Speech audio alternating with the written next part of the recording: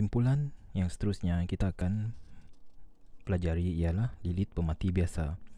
Kegunaannya ialah digunakan untuk mematikan hujung tali supaya hujung tali tidak terurai dan hujung tali nampak kemas. Caranya amat mudah.